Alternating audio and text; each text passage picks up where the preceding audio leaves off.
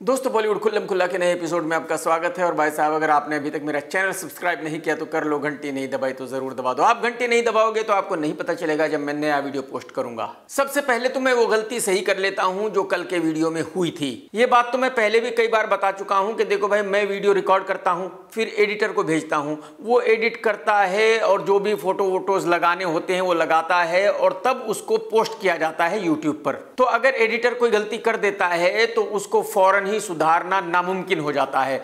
फिर उसके बारे में सिर्फ़ अगले वीडियो में ही बात हो सकती है।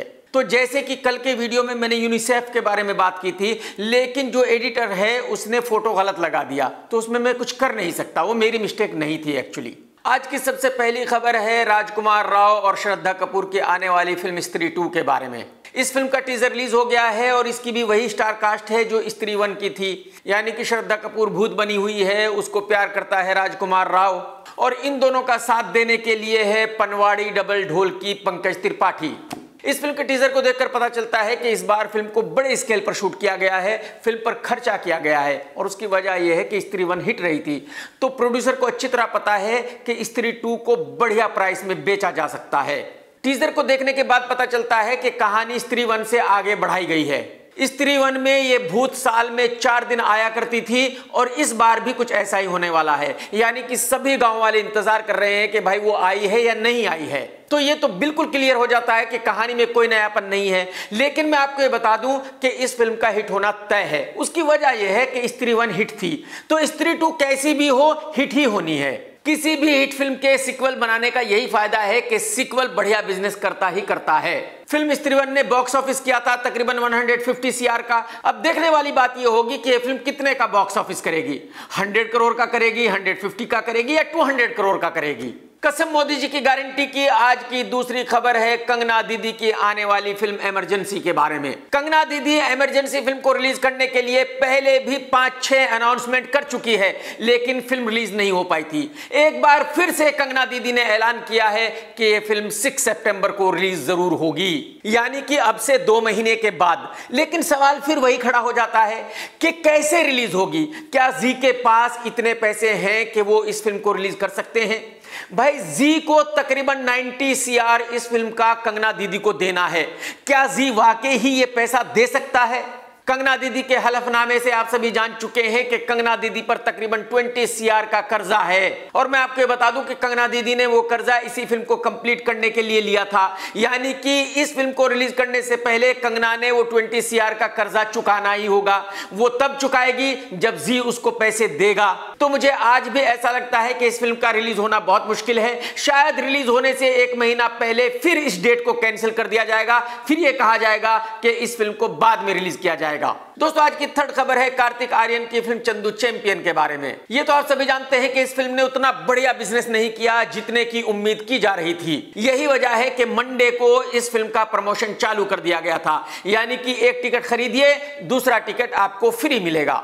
मेरे ख्याल में इस मुद्दे पर काफ़ी चर्चा हो चुकी है और बहुत लोग ये कह चुके हैं कि ये ट्रेंड बिल्कुल भी सही नहीं है। भाई, फ़िल्म फ्री में नहीं बनाई जाती तो जब फ्री में बनी नहीं है तो फ्री में दिखा क्यों रहे हो? लेकिन देखिए, हर आदमी अपने बिज़नेस को अच्छी तरह समझता है। प्रोड्यूसर साजिद नडियाड वाला ने कुछ कैलकुलेशन की होगी। यही वजह है कि वो इस फ़िल्म को प्रमोशन के साथ दिखा रहे हैं। निर्माता साजिद भाई को नुकसान होगा या फ़ायदा होगा फ़िल्म को प्रमोशन दिखाने में, ये अलग बात है। मेरे ख्याल में कार्तिक को निर्माता से कहना चाहिए था कि भाई वो इस फ़िल्म को प्रमोशन में ना दिखाए। आज की फिफ्थ खबर है द सुपर वाहियात फ़िल्म, कालकी के बारे में। आप सभी जानते हैं कि ये फ़िल्म परसों रिलीज़ होने वाली है, यानी कि थर्सडे को। इस फ़िल्म की एडवांस बुकिंग चालू हो गई है और बहुत ही खराब एडवांस बुकिंग चल रही है। मैं आपको ये बता दूँ कि तेलुगु में एडवांस बुकिंग अच्छी है, लेकिन मैं बात कर रहा हूँ सिर्फ़ और सिर्फ़ हिंदी सर्किट की। हिंदी सर्किट में इस फ़िल्म की एडवांस बुकिंग ठीक वैसी ही है, जैसी कि सलार की थी, और सलार सुपर डुपर डिसास्टर थी हिंदी में। तो यानी कि एडवांस बुकिंग से ही पता चल चुका है कि ये फ़िल्म बढ़िया ओपनिंग नहीं लेने वाली, और ये फ़िल्म हिंदी में सुपर डुपर डिसास्टर होने जा रही है गारंटी के साथ। कसम राजस्थान के उस काले हिरन की आज की सिक्स खबर है नाना पाटेकर के बारे में। नाना पाटेकर ने एक मीडिया हाउस को एक इंटरव्यू दिया और उसमें बताया कि उसने वेलकम थ्री क्यों नहीं की। नाना ने बताया कि उसने कहानी सुनी थी, लेकिन उसको कहानी पसंद नहीं आई। मज़ा नहीं आया कहानी सुनकर। नाना ने यह भी कहा कि मुझे अच्छी तरह पता है कि वेलकम टू हिट नहीं थी तो मैं वेलकम थ्री इसलिए भी नहीं करना चाहता था। लेकिन मैं आपको यह बता दूँ कि वेलकम थ्री को अक्षय कुमार साहब कर रहे हैं। अक्षय कुमार ने भी कहानी सुनी होगी। अगर अक्षय कुमार को कहानी पसंद आई है और नाना पाटेकर को पसंद नहीं आई है तो यह कहना बहुत ही गलत होगा कि कौन सही है, कौन गलत है। अब तो इस बात का फैसला उसी वक्त होगा जब यह फ़िल्म रिलीज़ होगी कि नाना पाटेकर सही था कि उसको कहानी पसंद नहीं आई थी, या अक्षय कुमार सही है कि उसको कहानी पसंद आई और उसने फ़िल्म को किया। दोस्तों, आज की सेवंथ खबर है पनवाड़ी, नशेड़ी, गंजेड़ी, डबल ढोल की पंकज त्रिपाठी के बारे में। इस पनवाड़ी ने अपने एक इंटरव्यू में कहा है कि ये बहुत बड़ा सुपरस्टार बन चुका है, बहुत ज़्यादा बड़ा, इतना बड़ा कि भाई साहब ऋतिक रोशन, सलमान खान, आमिर खान, शाहरुख खान, कोई भी इसके सामने टिकता नहीं है। इसने कहा कि मिर्जापुर थ्री रिलीज़ होने के बाद मेरे स्टारडम में अलग ही चार चाँद लग चुके हैं। अच्छा ये कोई पहला ऐसा एक्टर नहीं है जो सपनों में जी रहा है। जो सपनों में बॉलीवुड का सबसे बड़ा सुपरस्टार बन चुका है। एक्चुअली बॉलीवुड के हर फ्लॉप एक्टर का यही हाल है। आपको याद ही है, जब रणबीर कपूर की फ़िल्म एनिमल रिलीज़ हुई तो उसके बाद पब्लिक ये बताने लगी थी कि बॉबी देओल बहुत बड़ा सुपरस्टार बन चुका है। और मैंने उसी वक्त कहा था कि इसको कोई भी अपनी फ़िल्म में नहीं लेगा। ये सिर्फ़ एक साइड किक है, ये सुपरस्टार नहीं है। और आज तक किसी ने अपनी फ़िल्म में लिया है क्या? नहीं ना। बॉबी देओल ने दो तीन फ़िल्में साइन की है as a villain as a hero किसी ने खड़ा भी नहीं किया। तो एक्चुअली बॉलीवुड के हर एक्टर का यही हाल है। जैसे ही उसकी कोई फ़िल्म आती है या वेब सीरीज़ आती है और उसके काम की थोड़ी सी तारीफ़ हो जाती है, वैसे ही वो ये मान लेता है कि उससे बड़ा सुपरस्टार बॉलीवुड में कोई रहा नहीं है। बस ठीक वैसे ही कुछ गलतफहमी इस लुखे को हो गई है। इसको ये लग रहा है कि ये बॉलीवुड का सबसे बड़ा सुपरस्टार बन चुका है। पनवाड़ी भाई, मैं आपको बता दूँ कि अपने कदम ज़मीन पर रखो, हवा में उड़ना बंद कर दो। अगर ऐसी बहकी बहकी बातें करोगे तो बॉलीवुड वाले काम देना बंद कर देंगे। फिर घर पर बैठना पड़ेगा, जैसे आज सड़ेला नवाजुद्दीन बैठा हुआ है। आज की आठवीं खबर है अनिल कपूर साहब के बारे में, जो ओटीटी बिग बॉस इस साल होस्ट कर रहे हैं। उनके काम की बहुत ही चर्चा हो रही है। सभी ये कह रहे हैं कि भाई, अनिल कपूर बहुत बढ़िया होस्ट है। अनिल कपूर शो को बहुत अच्छे से होस्ट कर रहा है। जितनी तारीफ़ अनिल कपूर साहब की हो रही है, उसको देखकर मुझे ऐसा लग रहा है कि शायद जो निर्माता हैं, वो बिग बॉस होस्ट करने के लिए भी अनिल कपूर को ही ले लेंगे। और भाई साहब, अगर ऐसा हो गया तो सल्लू बुढ़ो सीधा ही कोमा में चला जाएगा। क्योंकि उसके पास ले देकर एक शो ही बचा है और तो कुछ है नहीं। कैरियर खत्म हो चुका है। अगर वो शो भी अनिल कपूर ले गया तो फिर बेचारा बुढ़ो क्या करेगा? कोई काम धंधा ही नहीं बचेगा।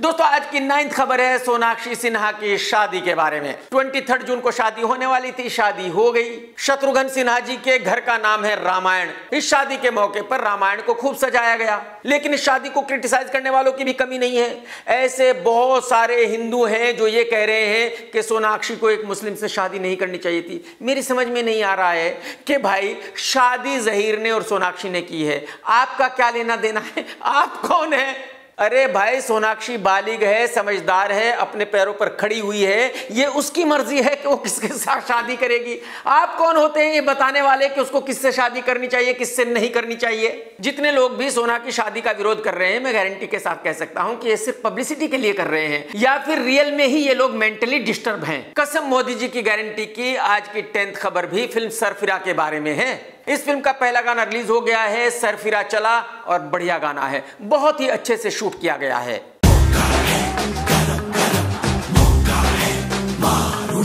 लेकिन आप में से बहुत सारे लोग कमेंट्स करके ये कह रहे हैं कि मैं ये क्यों नहीं बता रहा हूँ कि ये फ़िल्म एक साउथ की फ़िल्म का रीमेक है।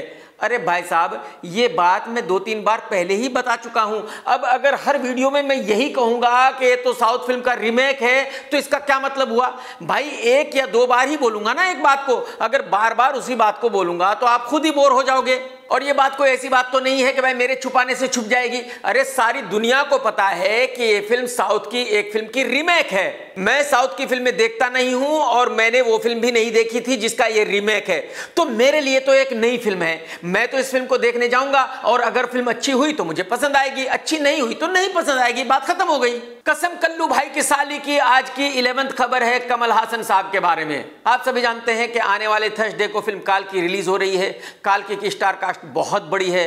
अमिताभ बच्चन साहब है, प्रभास है, कमल हासन है, दीपिका है, वगैरह वगैरह। अब कमल हासन ने बताया है कि उन्होंने एक साल तक सोचा कि वो इस फ़िल्म को करे या ना करे, क्योंकि इस फ़िल्म में उनका विलन का रोल है। एक साल के बाद जाकर वो कन्विंस हुए और फिर कमल हासन साहब ने कहा कि ठीक है, मैं ये फ़िल्म करूँगा। लेकिन मेरे पास जो खबर आई है, वो कमल हासन की इस कहानी से बिल्कुल अपोजिट है। मुझे किसी ने बताया है कि जब कमल हासन साहब को यह कहानी सुनाई गई तो उसी वक्त कमल हासन साहब ने बहुत ज़्यादा पैसे मांगे थे, जो निर्माताओं ने देने से मना कर दिया था। आहिस्ता आहिस्ता एक साल लगा कि कमल हासन साहब थोड़े नीचे आए और निर्माता थोड़े ऊपर गए। तब जाकर एक अमाउंट फाइनल हुई और तब कमल हासन ने इस फ़िल्म को किया। यानी कि कहने का मतलब यह है कि कमल हासन ने भारी भरकम पैसे लिए हैं। इस फ़िल्म में विलन का रोल करने के लिए। कसम रावण की आज की ट्वेल्थ खबर है तनुश्री दत्ता के बारे में। आप सभी जानते हैं कि एक वक्त में ये लड़की हीरोइन हुआ करती थी।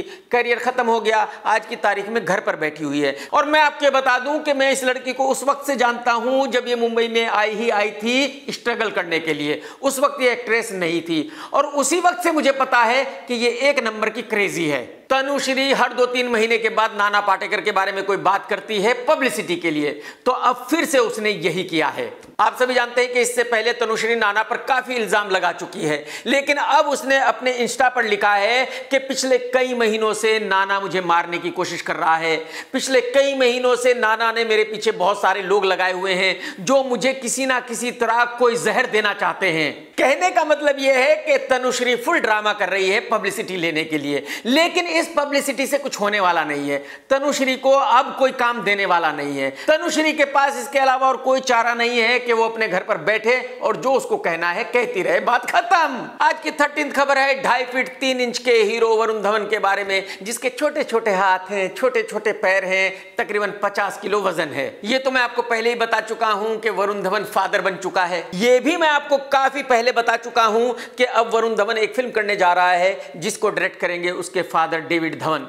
David Dhawan साहब जो सही से उठ नहीं पाते, चल नहीं पाते, अब वो डायरेक्शन करेंगे। एक्चुअली वो डायरेक्शन नहीं करेंगे। नाम उनका होगा, लेकिन जो वरुण धवन का भाई है, रोहित धवन, वो डायरेक्शन करेगा। और आप सभी जानते हैं कि रोहित ने आज तक जितनी भी फ़िल्मों का डायरेक्शन किया है, वो सब की सब सुपर डुपर डिसास्टर रही हैं। वो एक नंबर की वाहियात फ़िल्म बनाता है। तो अब ये ऑफिशियल हो गया है कि हाँ ये फ़िल्म बनने जा रही है और इस फ़िल्म के निर्माता होंगे टिप्स। इस फ़िल्म की हीरोइन होगी मरुणाल ठाकुर और एक और लड़की को साउथ से लिया गया है श्री लीला श्री लीला मेरी फेवरेट एक्ट्रेस है, ज़बरदस्त डांस करती है और सुंदर भी बहुत है। लेकिन प्रॉब्लम यह है कि श्री लीला वरुण धवन से तकरीबन एक फीट ज़्यादा लंबी है। तो जोड़ी लगेगी कैसी? वो आप सोचो। दोस्तों, आज की फोर्टीन खबर यह है कि रेस फोर बनने जा रही है। निर्माता रमेश तौरानी साहब ने कहा है कि मैं रेस फोर बनाने जा रहा हूँ। यह मैं नहीं कह सकता कि सल्लू इस फ़िल्म में होगा या नहीं होगा। सर जी, मैं गारंटी के साथ आपको बता सकता हूँ कि सल्लू इस फ़िल्म में नहीं होगा। सल्लू अपने सपने में भी ये फ़िल्म नहीं करेगा। रियलिटी की तो बात ही छोड़ दो, सर। सर, मैं आपको बता दूँ कि उस बेचारे के कैरियर को बर्बाद करने में आपकी फ़िल्म रेस थ्री का बहुत बड़ा हाथ है। और आपकी फ़िल्म ने खाली सल्लू का कैरियर ही बर्बाद नहीं किया, बल्कि डायरेक्टर रेमो डिसूजा को, बेचारे को हमेशा के लिए घर पर बैठा दिया। तो अगर इसके बावजूद भी आप ये उम्मीद कर रहे हो कि सल्लू आपकी फ़िल्म में होगा तो फिर आप सपने देख रहे हो। रियलिटी में ऐसा होना नहीं है। और तौरानी साहब, मैं आपको ये भी बता दूँ कि आप सपनों में रेस फोर बना रहे हो। रियलिटी में बनने वाली नहीं है। हाँ रियलिटी में बन सकती है, अगर आप नए नए लड़कों को लेकर इस फ़िल्म को बनाएँगे। दोस्तों, आज की फिफ्टीन खबर है, नवाबों की छठी औलाद सारा अली खान के बारे में। जब इसकी film love Aajkal two release हुई तो उसका मैंने रिव्यू किया था और मैंने बताया था कि इस लड़की को एक्टिंग बिल्कुल नहीं आती। वो बात इसको बहुत बुरी लगी थी। उसके बाद जब ये करण जौहर के शो पर गई तो वहाँ इसने कहा कि मैंने बहुत गलत किया कि इसके बारे में ऐसा कहा।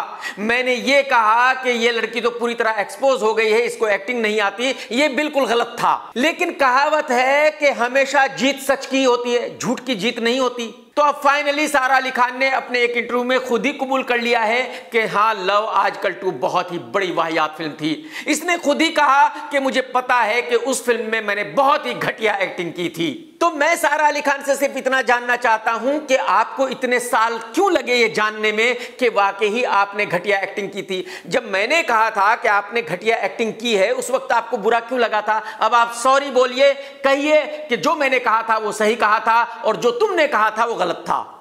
दोस्तों, आज के वीडियो में राजनीति की सिर्फ़ एक ही खबर है और वो यही है। आप सभी जानते हैं कि जगन रेड्डी इलेक्शन हार गया और चंद्रबाबू नायडू जीत गया। लेकिन जब जगन रेड्डी सीएम था, उस वक्त उसने नायडू को अरेस्ट करा दिया था, जेल में डाल दिया था और नायडू के ऑफ़िस को शाम को पाँच बजे तुड़वा दिया था।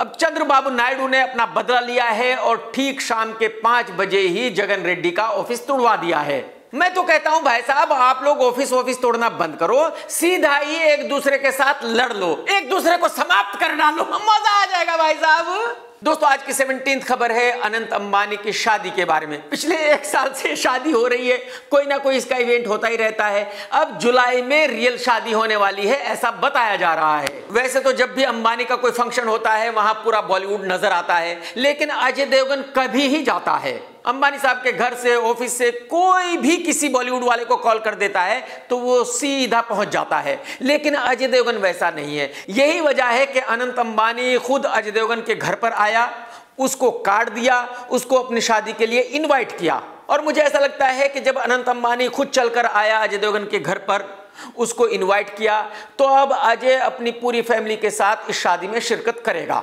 दोस्तों, आज की एटीन खबर भी सोनाक्षी सिन्हा की शादी के बारे में ही है। आप सभी जानते हैं कि शादी हो चुकी है और इस शादी में बॉलीवुड के बहुत सारे लोग आए थे। लेकिन कमाल यह है कि सोना की शादी में उसके भाई लवकुश शामिल नहीं हुए। इसका मतलब यह हुआ कि सोना के फादर और मदर भले ही शादी में शामिल हुए हों, लेकिन सोना के दोनों भाई अभी भी खुश नहीं है और यही वजह है कि शायद वो शादी में शामिल नहीं हुए। खैर, फैमिली फैमिली होती है, फैमिली में नाराज़गी भी होती रहती है। लेकिन मैं गारंटी के साथ कह सकता हूँ कि जल्दी ही सोना अपने दोनों भाइयों को मना लेगी, ये नाराज़गी दूर हो जाएगी और फिर सब एक फैमिली हो जाएँगे। दोस्तों, आज की नाइनटीन खबर है बॉलीवुड के सबसे सड़े हुए एक्टर नवाजुद्दीन के बारे में। ये तो मैं आप लोगों को पचास बार बता चुका हूँ कि इस सड़े हुए एक्टर की आठ दस फ़िल्में बनकर रेडी पड़ी हुई है और कुत्ता भी उनको देखने के लिए तैयार नहीं है। कबाड़ी फ्री में भी लेने को तैयार नहीं है। लेकिन अब इसने बहुत ही घटिया हरकत की है और उसकी वजह से लोग इसकी माँ बहन कर रहे हैं। एक्चुअली ये किसी एक फ़ंक्शन में गया था, वहाँ स्टेज पर था स्टेज पर और भी बहुत सारे लोग थे और वहाँ राष्ट्रगान बजाया गया। जब राष्ट्रगान बज रहा था तो जितने भी लोग स्टेज पर थे, वो साथ में गा रहे थे। लेकिन ये बंदा चुपचाप खड़ा था। इसने एक बार भी राष्ट्रगान का एक वर्ड भी नहीं बोला। ऐसा लग रहा था कि उस वक्त पर राष्ट्रगान का बजना इस बंदे को बिल्कुल भी ठीक नहीं लगा। अब ये वीडियो सोशल मीडिया पर वायरल हो चुका है और इसको देखकर लोग नवाजुद्दीन की माँ बहन कर रहे हैं, खूब गालियाँ दे रहे हैं। लोग कह रहे हैं कि, भाई, अगर तुझे राष्ट्रगान से इतनी दिक्कत है तो फिर इंडिया में क्यों रहता है? कहीं बाहर जाके रह ले। और मेरे ख्याल में लोग जो कह रहे हैं, वो बिल्कुल सही कह रहे हैं। भाई, आप हिंदुस्तानी हो, हिंदुस्तान में रहते हो, हिंदुस्तान में कमाते हो, हिंदुस्तान में खाते हो तो फिर हिंदुस्तान के राष्ट्रगान से क्या दिक्कत है तुझे लुखे जन गण मन अधिनायक जया है, भारत भाग्य विधाता। मैं तो स्कूल कॉलेज में मॉनिटर हुआ करता था और सालों मैंने राष्ट्रगान गाया है डेली सुबह को। दोस्तों, आज की ट्वेंटी खबर है माल के शौकीन हनी सिंह के बारे में। हनी सिंह का एक वीडियो वायरल है और उसमें देखा जा रहा है कि ये बंदा कहीं है और इसके साथ कई गन वाले हैं, बंदूकें लेकर खड़े हुए हैं।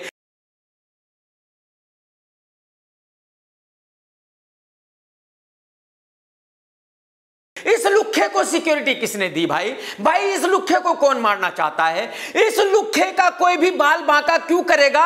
अरे, इस लुखे से वैसे ही पब्लिक दूर रहती है, इसको मारने कोई क्यों आएगा? तो मैं हैरान हूँ, परेशान हूँ ये देखकर कि इस लुखे को भी किसी ने सिक्योरिटी दे दी है। अरे भाई, हदी हो गई यार। अगर पंजाब सरकार ने इसको सिक्योरिटी दी हुई है तो मैं पंजाब सरकार से हाथ जोड़कर रिक्वेस्ट करता हूँ कि इस लुखे से सिक्योरिटी वापस ले लो।